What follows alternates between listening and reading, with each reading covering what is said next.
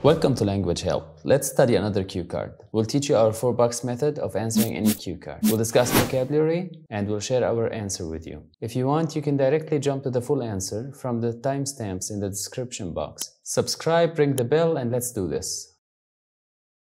In the second task in the IELTS speaking test, you'll be given a piece of paper with a question written on it. This is what's called a cue card. You'll also be given an empty paper, a pencil, and only one minute to structure and organize your answer. After the minute is over, you're supposed to speak on the topic for two minutes, and then you'll answer one or two follow-up questions. Not all questions will be familiar to you, and you're not expected to tell the truth, so use your imagination.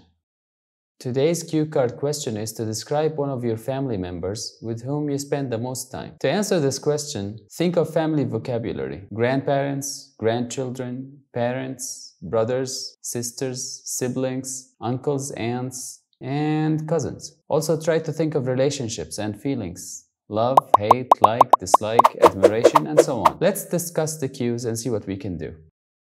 The first cue is who he or she is. On your paper, draw a box and note down the tense you'll be using to accomplish this specific task. If you cannot decide on the tense, you can always rely on the tense of the cue. In this case, the cue tense is the simple present tense. Like we said earlier, think of family and relationship vocabulary. For our answer, the family member will be an aunt, who's a middle child in her family. I write these down so I won't forget them.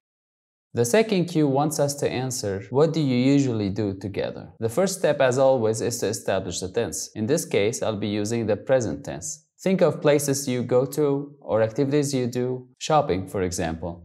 The third cue asks us to talk about what kind of person he or she is. Here we're going to have to describe the person, so we'll need the present tense. But I'm also thinking of talking about an example that happened in the past to further the description. So I'll use the past tenses too. I need vocabulary like sociable, kind-hearted, and the example. The fourth and final cue is to explain why you spend most of your time with them. This is about usual habits or routine, so the present tense. But if you want to talk about an example, you're going to have to use the past too. So I'll just throw this in there. Here we'll talk about feelings and expectations.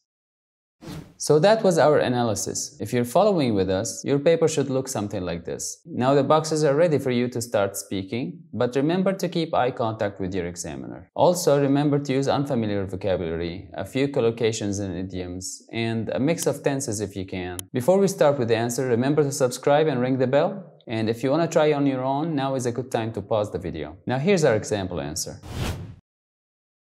The first cue is who she or he is. Our answer is the person I'm closest to in my family is definitely my Aunt Selma. She's the middle child of three girls. Aunt Selma and my mom are incredibly close. They even take after each other.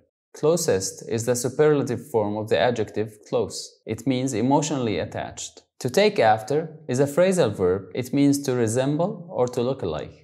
The second cue is, what do you usually do together? Our answer is, we have always got on and we never fell out. I know that is unusual, but she is so outgoing and sociable. Everybody who sees her falls for her. Her friends especially value her care and kindness. I remember them praising her efforts at university to mend fences between her two best friends. To get on is the British way to say get along. The meaning is to have a harmonious or friendly relationship. To fall out is to have an argument. To fall for someone is to like or love them. To praise is to express warm approval or admiration of someone. To mend fences is an idiom that means making peace with a person. The third cue is what kind of person he or she is. Our answer is, my aunt and I always hang out together and go shopping in her free time, which is not as often as you would think. Last week, for instance, we were in the mall shopping for new boots for grandpa, but we ended up buying three pairs of shoes because we have the same taste in fashion.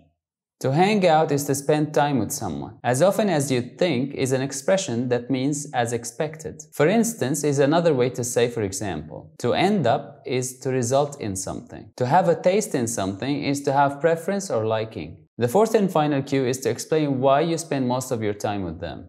Our answer is I think we hang out because I admire my aunt. I look up to her because she is responsible. My grandpa had a heart attack once, and had it not been for her quick, decisive action, we could have lost him. I also value her honesty. I too would like to think of myself as honest. We both hate lying. To admire is to regard with respect or warm approval. To look up to someone is another way to say admire or aspire to be like that someone. When an action is decisive, it produces a definite or final result. Had it not been for someone to do something is an inverted third conditional structure. This is an advanced form you can use in your speech. It helps you show variety in grammatical structures. The simpler way to say this is to say if it had not been for someone to do something and finish the sentence.